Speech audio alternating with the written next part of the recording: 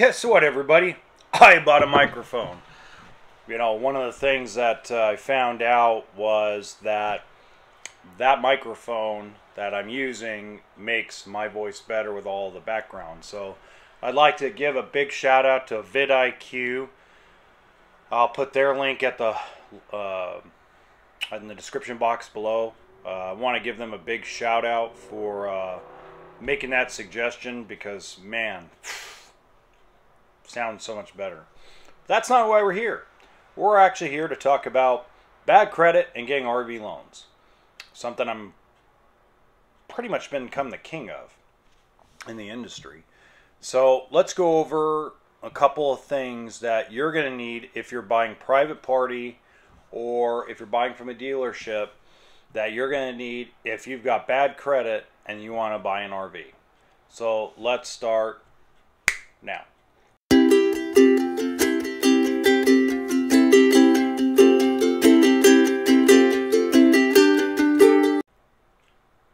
Now, before we get started, I just ask one thing. Down in the right-hand corner, there's a little campsite, a little campfire symbol. That's actually the subscribe button.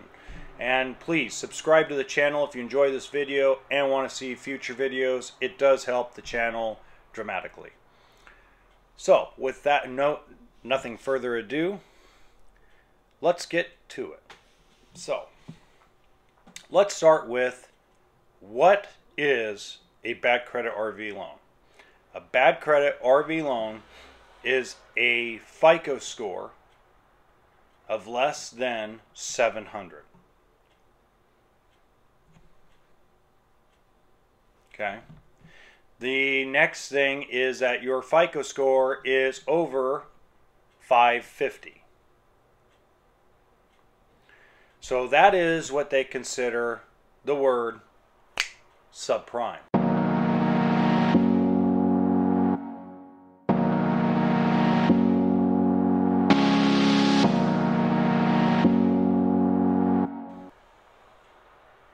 So with that being said, there's a few things that you're going to need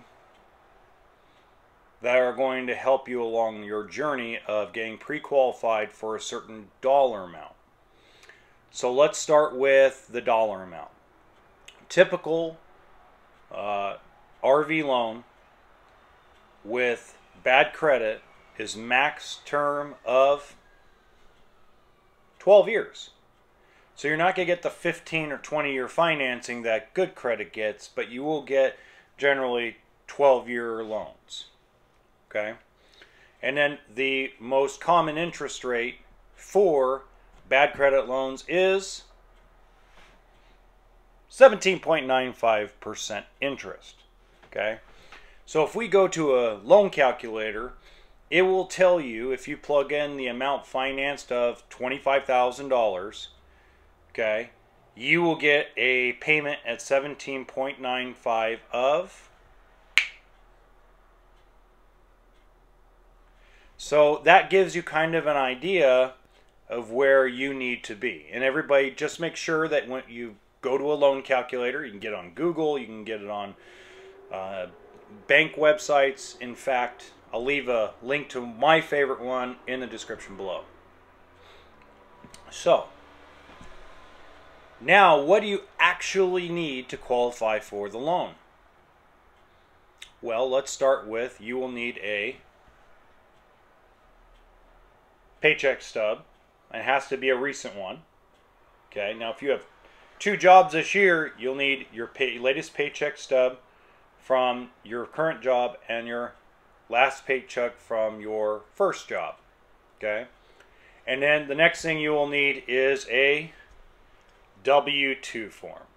So you'll need all of those in order to qualify for the loan. Now, what are they looking for? They're looking for your outgoing bills, including your rent, to be less than 35% of your gross income. So 35% of your gross income means before your medical insurance, before taxes. So let's remember that before your medical and dental and all that stuff, 401k, and before taxes. Okay? 35%. That's the number. So that means that if you make $4,000 a month or $48,000 a year, your bills between your mortgage, your rent, and all of your credit cards and car payments needs to be less than $1,250. Okay? So if it's more than 1250 you're more than likely going to need a cosigner in that instance.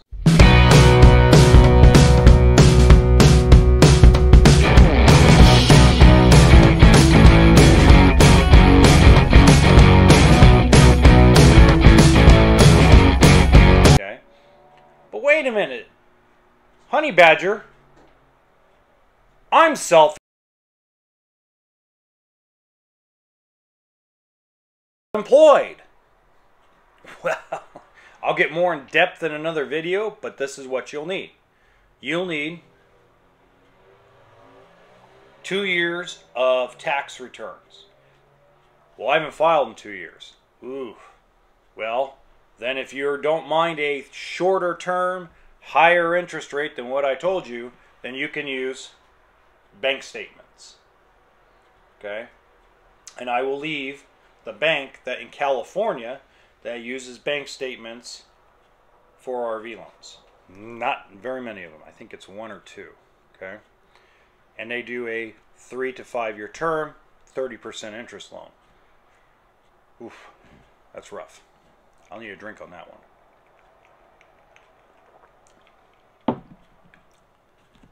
So, that's what you'll need.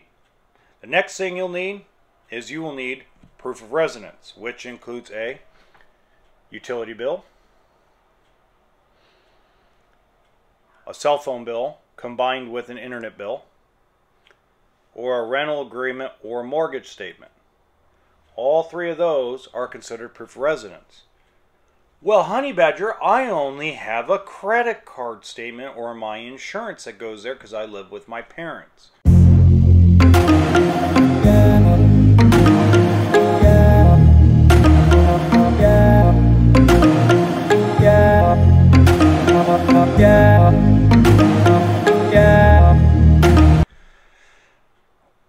There's ways around that. Not very many of them, but not to put that on video because I would get in deep trouble. But I will say that talk to your finance manager at the dealership or talk to your bank about it before you proceed with those alternate options.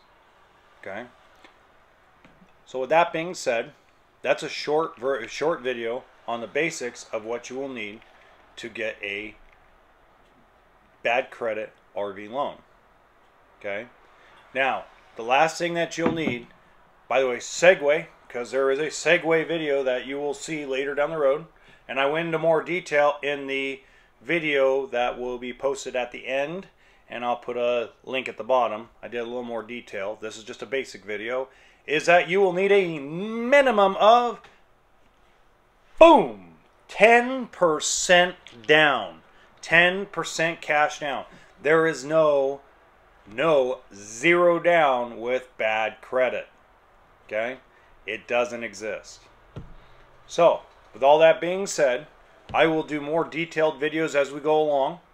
So if you enjoy this November video on bad credit RV loans, I'm going to put a couple of my other videos on finance down there in the finance or down there in the description box. And don't forget to like the channel and subscribe. If you have any questions, put them in the comments section. And until next time, as the Honey Badger always says, RV stands for two things toolkit and sense of humor.